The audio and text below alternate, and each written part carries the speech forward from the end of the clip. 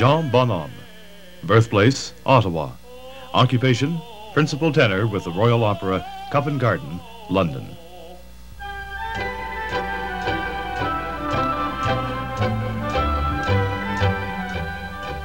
In a short nine years, Bonhomme's vocal talent has taken him from singing at the weddings of relatives and friends to some of the choicest roles in the operatic world of London, where, in this respectable neighborhood, he has lived for the past two years with his wife and two young daughters.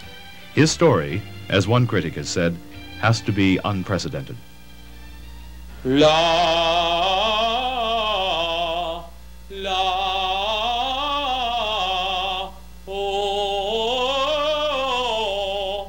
eh. Londoners first heard Bonhomme's tenor voice when he sang with Sadler's Wells in 1965 at the age of 28.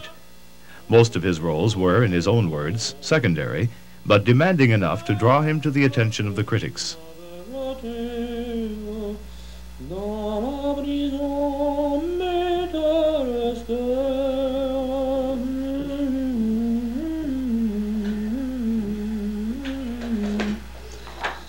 A year later, he stepped onto the stage of Covent Garden as a member of the highly esteemed Royal Opera Company, which, for most aspiring young opera singers, would be a milestone in itself.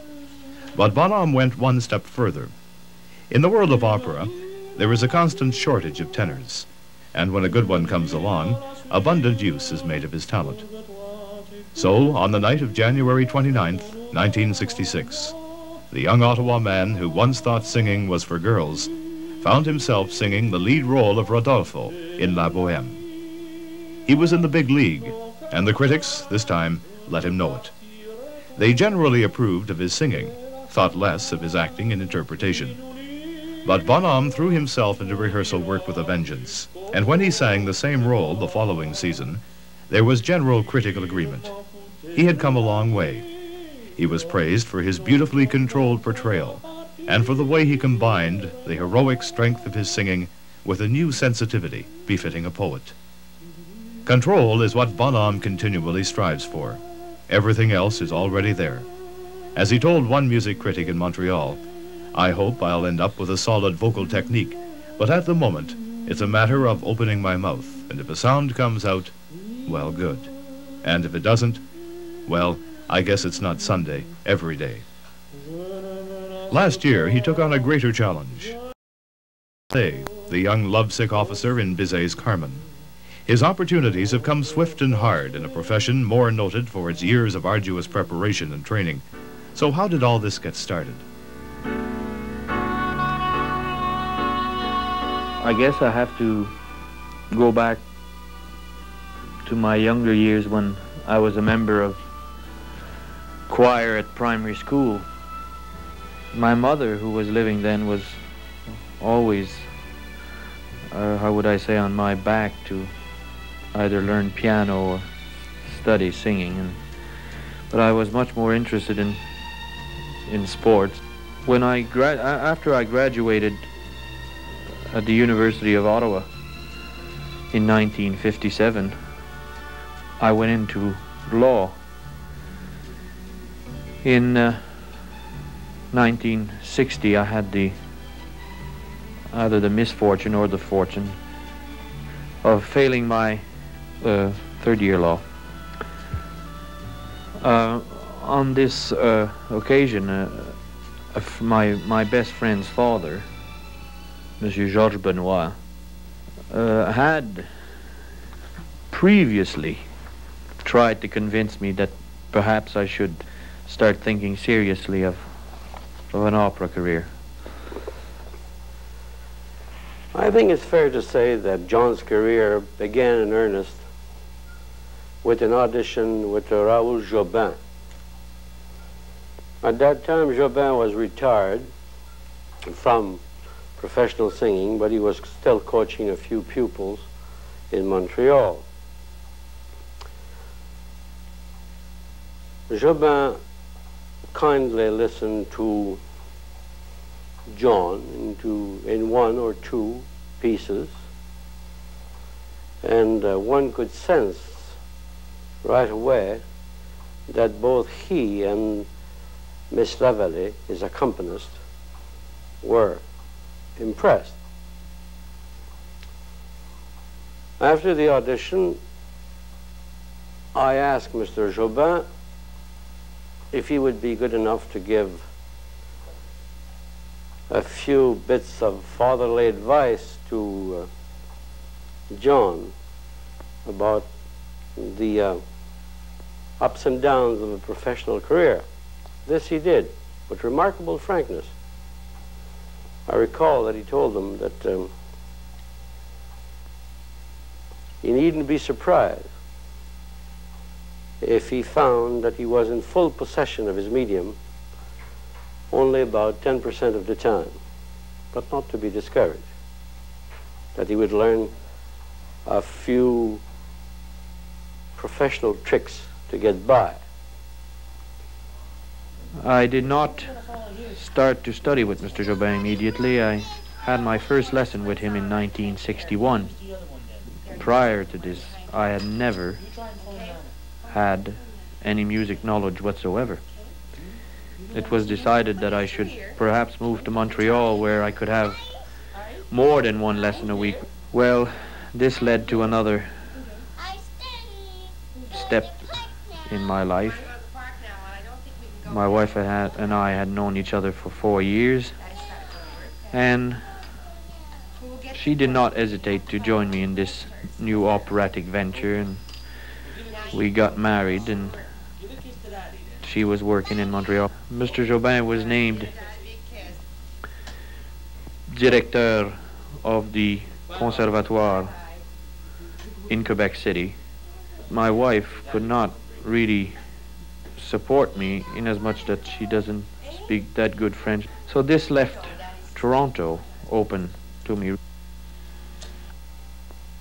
John studied with Jobin for one year and then moved on to Toronto. Since he was not very affluent, he had to find a musical school where he could pursue his studies on scholarship. Through the good offices of an old friend of mine, Rex Battle, I managed to be helpful in having him admitted at the Ontario Conservatory of Music, where he uh, stayed for two years, being coached by George Lambert. During that time, he um, participated in a number of competitions and won three major awards. The uh, Richard Tucker Search for Talent Award, the uh, CBC Talent Festival, and the Kiwanis Musical Festival of Greater Toronto. By luck, the assistant director of Sadler's Wells heard him in a production of uh, Milhaud's Le Pauvre Matelot and sued a one-year contract. John went to London and while singing at Sadler's Wells at the instigation of Jon Vickers, he was scouted by Covent Garden. This led to a two-year contract, which is about to expire or indeed may have expired uh, at this time. At this time, I have, I have forgotten to say that uh, before proceeding to London, John had made his professional debut under Jean Gascon and uh, Richard Browning in Don Basilio, in The Marriage of Figaro. Hence, when he came to Sadler's Wells, he had already a bit of experience. During his stay, John collected a number of reviews some very severe, but on the whole, mostly fair.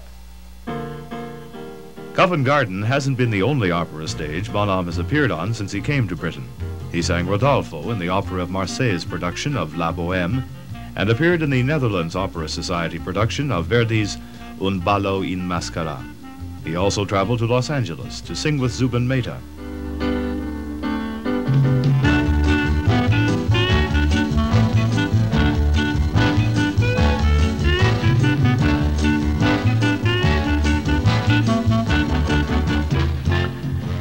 Sadler's Wells, I sang a number of secondary tenor roles, but also did the leading role of Pinkerton in Madame Butterfly.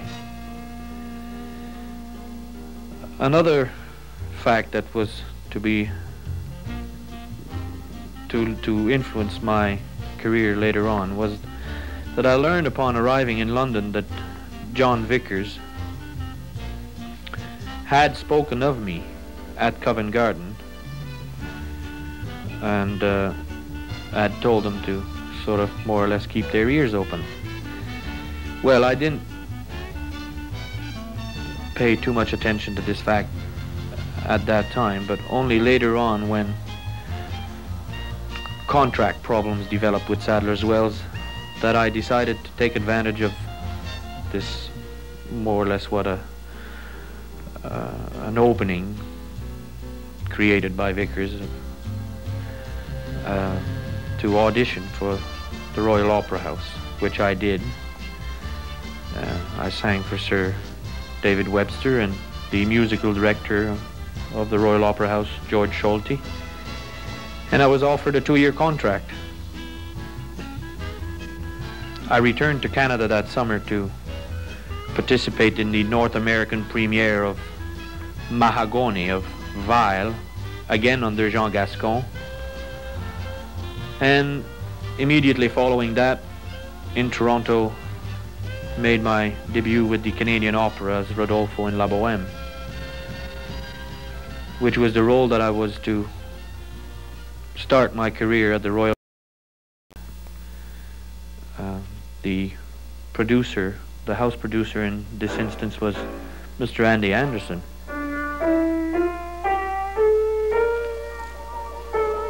All right, John. Now, John, this interlude, it's not a fill-in, is set up, set up the mood for your aria here.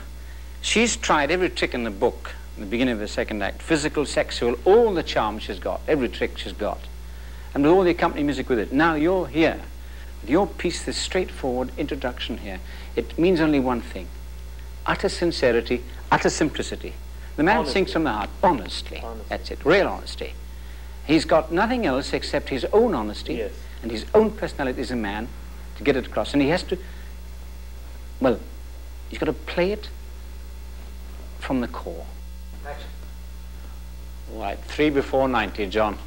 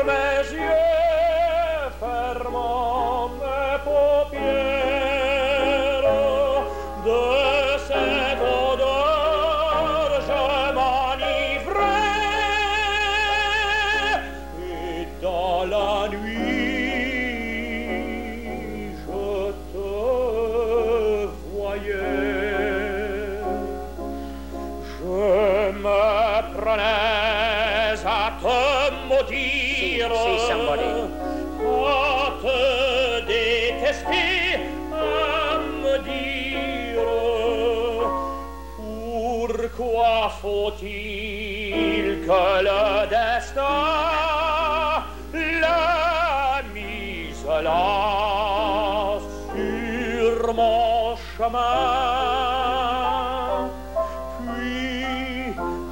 it alive.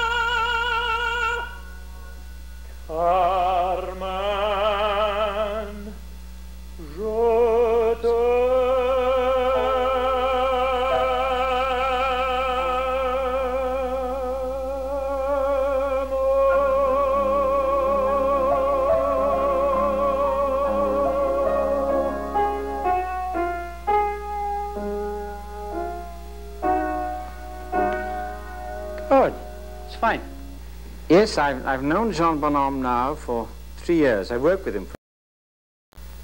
I did his first show. It was Bohème. Rudolph in Bohème, he sang.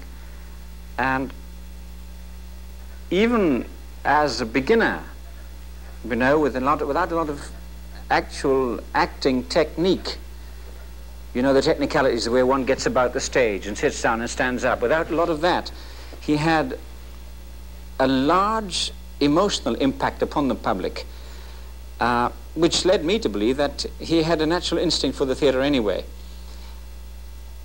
I believe that vocally it's one of the most exciting sounds I've heard from a tenor in a long time, but this can be a drawback in some respects because if he does sing and go on singing with this type of involvement and this emotional involvement, then he'll give generously in performances.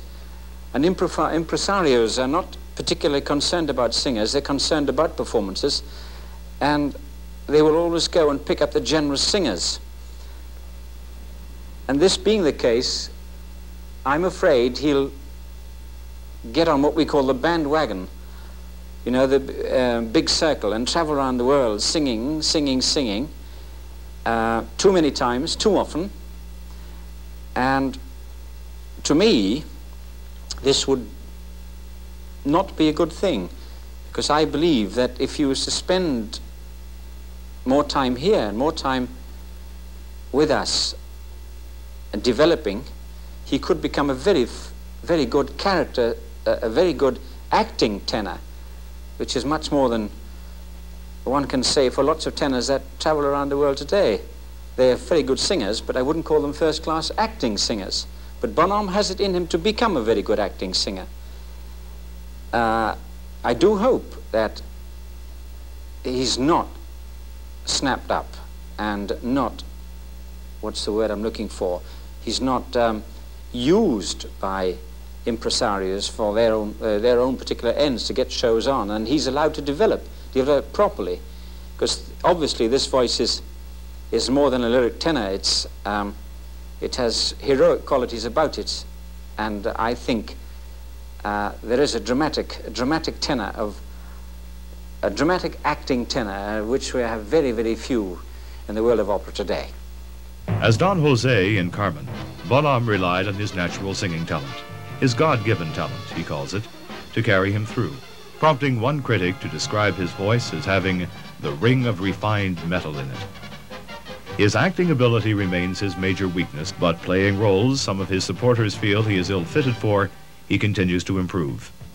At the same time, one thing his producers appreciate the lack of is temperament, fairly commonplace in the operatic world. For all the pressure of the big time, Bonhomme is able to relax we found a quite a beautiful flat in an area beyond Hampstead, Brondesbury Park. Actually, the street is called that, but it's also an area in London.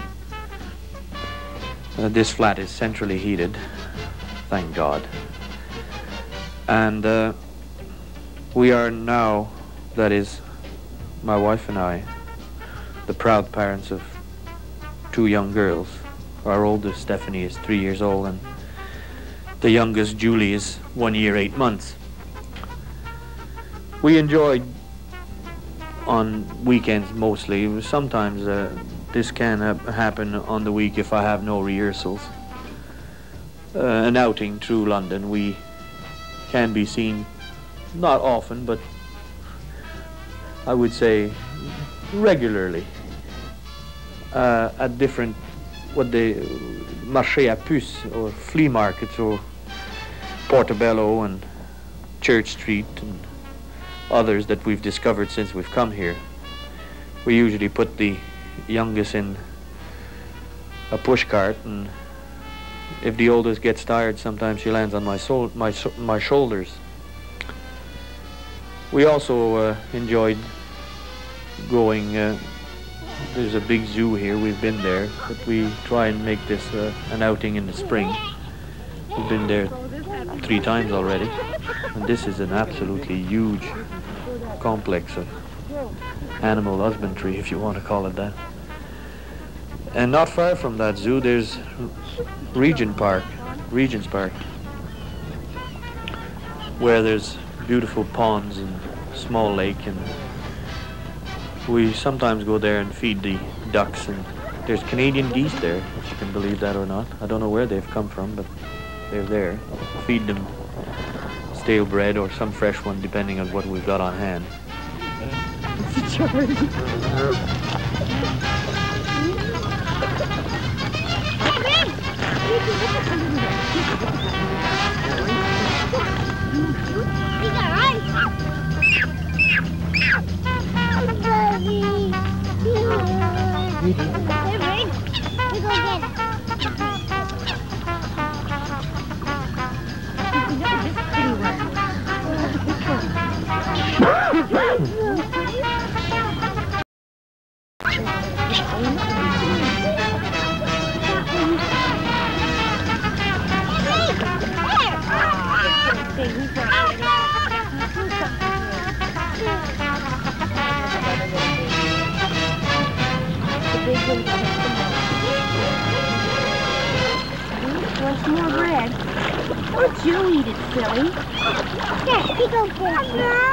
Throw the birdies. KK, throw the bread to the birdies.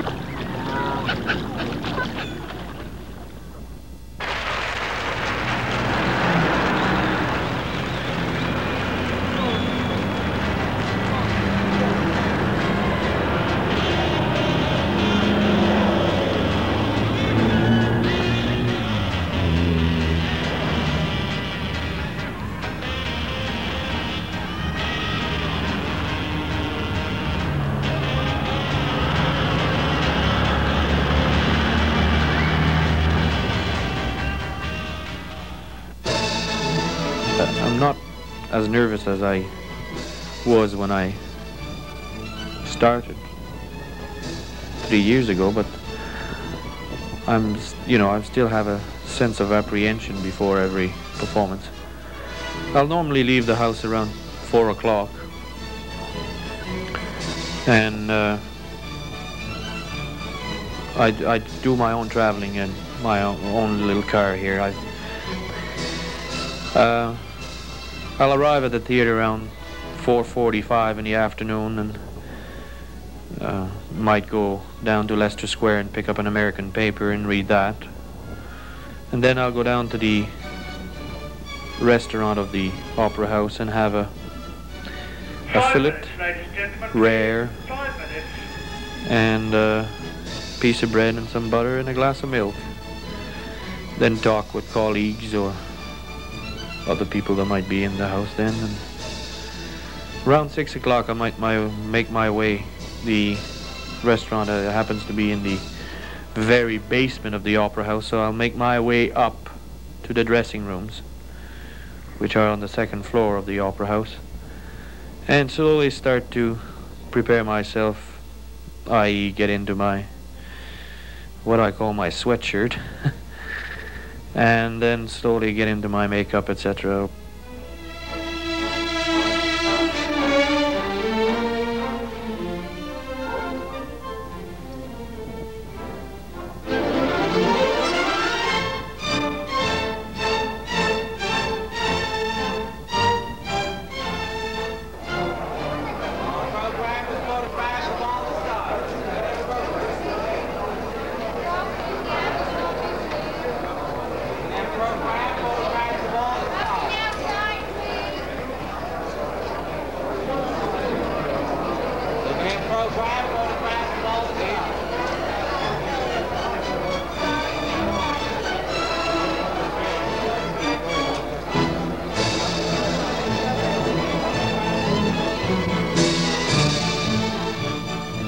As a Canadian, Bonhomme is nothing new to Covent Garden.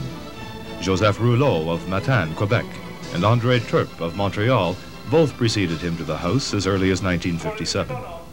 Victor Godfrey of Winnipeg came in 1960. At one point, there was talk in London of an all-Canadian production by the Sadler's Wells Company.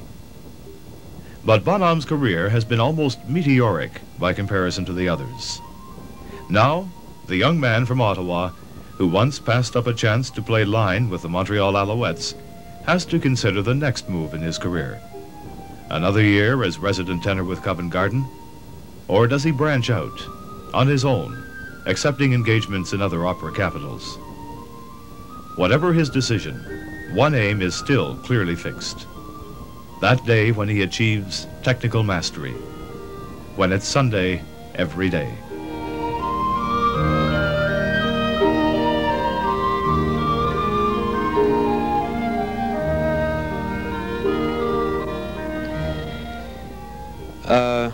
Once the five minute has been given over the PA system, I usually slowly make my way down. If I start the opera, of course, which is the case with Bohème and Butterfly. And, uh, well, after the performance, I use, depending, uh, I think in four years I've I've only walked away from the stage completely satisfied twice.